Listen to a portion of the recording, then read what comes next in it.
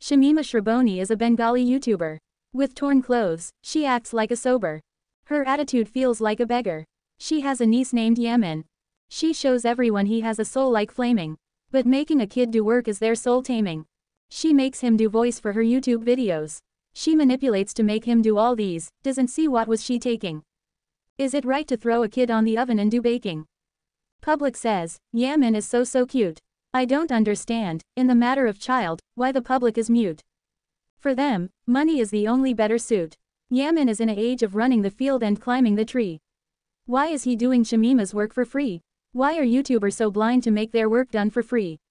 I love to see fish living on a trees. But please stop these beggars making these child controversies. Why children should be the victim of these losers industries of fisheries. Why are you making poop cake of the kids in the bakeries?